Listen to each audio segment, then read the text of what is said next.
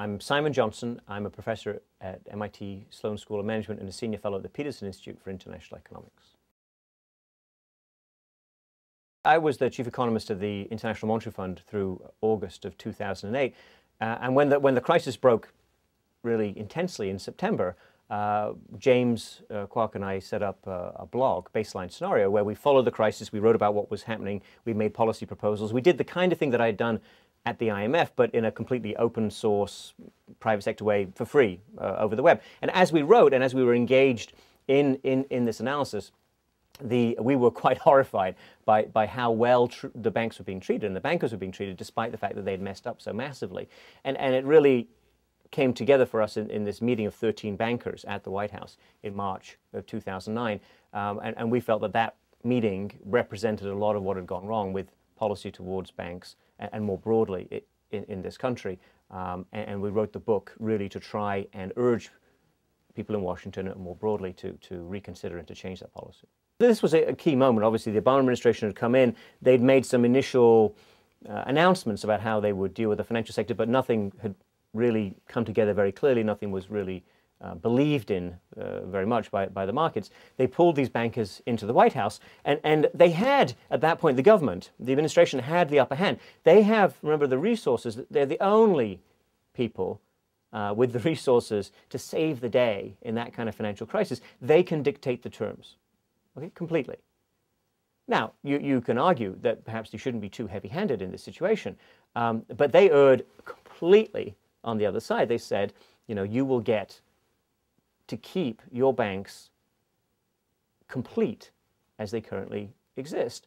And everything about your belief system and your incentive system, I mean, everything that got us into trouble, remember, everything that caused this massive financial crisis will remain undisturbed, at least for the time being. Now that, that's, that's, that's extraordinary. That, that is, I think, actually almost unprecedented in the history of financial crises. For a government to save the day so decisively without conditions, without changing anything about the problems and the structures that have created the crisis.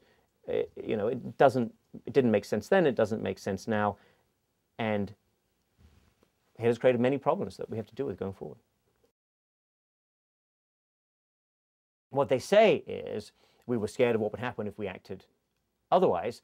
Uh, what, we, what, we, point out in, in, in the book in chapter two is these very same people, these highly experienced very well qualified policymakers in the US had in the 1990s advised other countries who got into crisis to do something quite different. They were always on the side of saying, no, when you, as you seize the moment to turn around the economy and to prevent the crisis from getting worse, you must deal with some of the underlying structural problems. If you don't, then all your efforts of recovery will, will fail. All, all short-term benefits will, will prove illusory. You will have more, more difficulty. Again, it's a very hard message to deliver, but they delivered it repeatedly to other countries. They just couldn't apply it to the United States.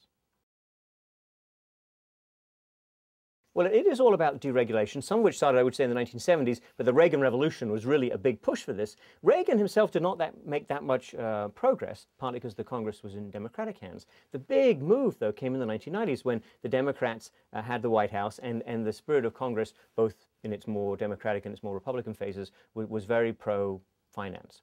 So there are many moments you can, you can point to, uh, particularly around the failure to, to regulate over-the-counter derivatives, which was a key decision made in 1998. Uh, in 1999 and, and, 2000, there was some legislation.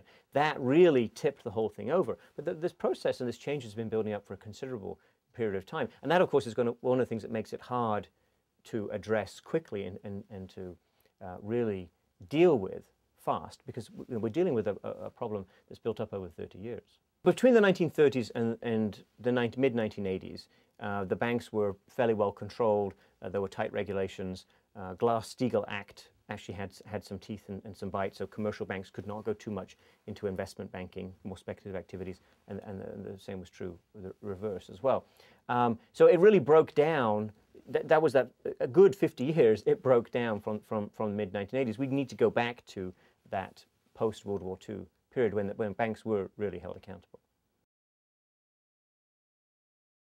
Well, there is, of course, reform legislation on, on, the table. We think that could have gone in a much better direction. We think what is likely to happen will, be largely meaningless in terms of uh, making the system less risky and addressing the too big to fail problem, the fact that these banks are just out, out of control. Um, so it, it will take legislation. This legislation almost certainly will not do it. We're just going to have to do it again. Well, I think we will see some better protection for consumers, and that's, that's a good thing, and we, and we, support that. But in terms of constraining the size, limiting the activities of these massive banks that are seen by the markets as too big to fail, and as a result have this huge unfair competitive advantage, they can borrow, by some estimates, 75, 80 basis points, that's 0.7, 0.8 of a percentage point, cheaper than other banks can borrow. That's, that's a huge difference in, in today's market. Um, we think there will be nothing at all that will make a difference uh, to that perceived and, and, and probably true um, implicit government guarantee uh, backing those banks. At the heart of this problem is, is a set of people, not a huge set of people, and this is not anti-finance, uh, this is not anti uh, Wall Street. I'm a professor of entrepreneurship. I like people who take risk and, and who put their own money and persuade other people to invest money in, in genuine risk-taking, productivity enhancing, technology transforming projects. Um, but there's this core of people who've become very, very powerful, um, who can do enormous damage to the rest of society. And, and honestly, they really don't care. Uh, they've made a lot of money uh, in the 2000s, for example. Some of them have written their, their memoirs. Many of them just you know, disappear with their hundreds of millions of dollars, and they leave it to the rest of us to clean it up. That, that's not acceptable. That's, that's not fair. That's not reasonable. That's not how we should organize uh, our society going forward. Other countries have many of the same problems. I think we should look to American history um, for the solutions. I think we should look at what Teddy Roosevelt did. He took on JP Morgan and he won. We should look at what FDR did. He turned the economy around without kowtowing to the bankers. We should look at what Andrew Jackson did. Andrew Jackson, very controversial figure, of course. He said the second bank of the United States in the 1830s was too powerful and it should be reined in. A lot of people thought that Jackson was, was out of control and, and exaggerating until the second bank of the United States started to fight back and it showed its power and, and it bribed a lot of people and it, and it restricted credit in an attempt to um, stop Jackson. And that, of course, is what turned public opinion against them. People said, oh my goodness, Andrew Jackson is right. That's why his picture's on the $20 bill. It's not a conspiracy. It's not an individual. It's not. It's not an individual financial firm, for example. It's a system. It's a system of beliefs and a system of incentives that caused a lot of trouble before and now remains in place. And, and I would say it's, a, it's an ideology. It's a set of really people in Washington, and I live in Washington, I interact with them every day. I argue this out. We have the blog where this, this goes on all, all, the time. And the book is just really meant to reinforce and push these points further. But these people, these very, very powerful people, believe that finance is good, unregulated finance is better, and huge financial firms, essentially unfettered in what they do around the world, are the best. This is wrong. This is incorrect. Uh, I'm not a radical of left or right. I'm a centrist. I'm, I'm a IMF technocrat, if you like. I'm a professor, uh, and, and we're bringing a lot of people with us on this point. We have a lot of blurbs in the book from people across the political spectrum. The structure we have right now is wrong, it is dangerous, it must be stopped. There is no value to the banks of their current size. If you, there, there is no evidence, and we go through this in, in, in the book, and we've debated this with all uh, the leading uh, people on the other side, there is no evidence that banks over $100 billion in scale confer benefits on, on society. Now, we're looking at banks that are 2 trillion, two and a half trillion was the case of Citigroup before the crisis.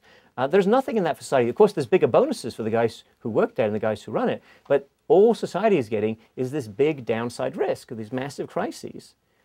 Push them back to a couple hundred billion dollars. That's our, that's our point. And then you get plenty of benefits from, from the scale um, and, and less danger.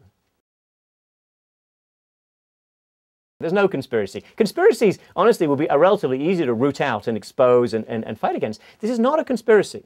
This is a system of beliefs. This is the way people think. This is how, what they have come to convince themselves of because Wall Street did so well, because it made so much money, became very prestigious, and a lot of people drank the Kool-Aid, if you like. A lot of people just believe this is the way it's got to be. And, and that's what we're fighting against. This book is, is, is a counter uh, on, on, the, on, the, on the ideological, on the belief system. And, and, you know, we have the evidence, we have the facts. We have a lot of people on, on our side. Oh, they've made it more likely. I mean, that's the point of keeping the bankers in place and keeping their entire incentives in place. Look, they weren't even embarrassed by what happened. Okay, maybe there was 20 minutes that it was a little bit awkward, but that's it. And, and these people, I can assure you, have no remorse. And as far as they're concerned, it was a great trade. They made a lot of money. Okay, that's what they care about, the bottom line. They did well out of this. Now, make no mistake, they'll do it again. Secretary Geithner says crisis, this crisis of this kind only occur every 40 years. Uh, Hank Paulson, former Secretary of Treasury, says they're every four to six years. Jamie Dimon, the he head of JP Morgan Chase, says every five to seven years. Um, so this is a key issue. Our view is that the structure of the financial system has changed over the past 30 years so that these kind of crises now become more likely. And, and we think that the, mo the most obvious source of danger now is in emerging markets. People are convinced that China, for example, can only go up. Any investment there will make easy money, they tell you. There's a lot of savings coming from middle income countries that come into US and, and, European banks and then come out again to those emerging markets, much like they did in the 1970s, a sort of a movement of capital around the world through our banks. It's all based on debt. It's, and it will be based, if people buy into this idea of the new boom in emerging markets, it will be based on unsustainable buildup of debt in, in, in those places, uh, probably around the private sector in, in, the, in their companies. And this will lead us into deep trouble not just in those countries, but also for our banks that are pushing the debt and selling the debt. So here we go again. And that's hard to say. The, the, the, timing of the cycle we've seen recently would suggest it's a three to four to five year cycle we're in. Uh, but honestly, if, if it's 10 years or 12 years, and at the end of it there's a cataclysmic collapse of the kind we just saw in 2008, 2009, that, that, that is something we should also be acting to, to prevent. You cannot do this every 10 years and, and with, without really horrible consequences for a lot of people in society. I, I, I, worry um, about the financial system, and I, I worry that people are going to forget. You know, attention is, is hard to sustain, particularly these days. You get a lot of focused attention, that's an advantage of the internet, and people grab onto issues, and, and, and I think people have been very worried about these massive banks.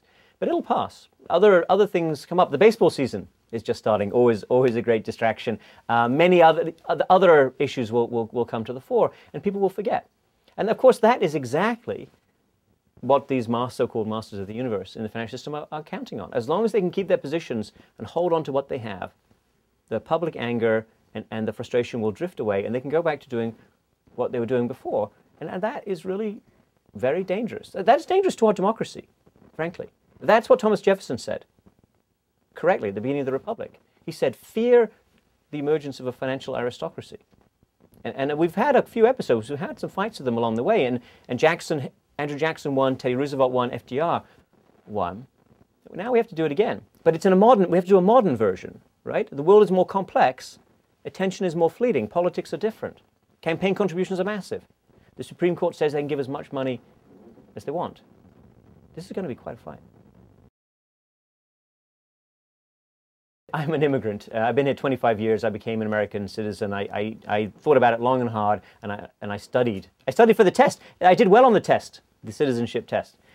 Um, and and I, I believe in, in this American, American project. I think it has survived for 200 years for a reason. I think it's a republic that was well designed, and while some of its structures, some of the initial language might seem anachronistic, it is actually a framework within which you can deal with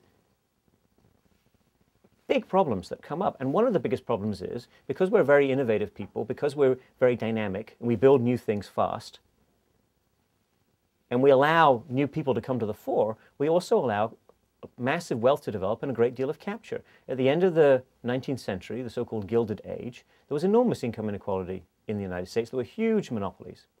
And Teddy Roosevelt said it was out of control. He decided to take JP Morgan's railroad monopoly, it's called Northern Securities, to the Supreme Court. JP Morgan came to see him at the White House and he said, if we've done anything wrong, send your man to see my man and we'll fix it up. And Roosevelt said, no, we're going to go to the Supreme Court. We're going to see this through. And he won, five to four. And from that came the antitrust movement. And from that came the breakup of Standard Oil and all the other massive companies. Right? The consensus, the view we have, big is beautiful, big is high quality, big is great, does not apply to the financial sector. We need a new Teddy Roosevelt. We need political leadership that can take that message, build an alliance, seize the moment, and put us all on a path to a, to a better century.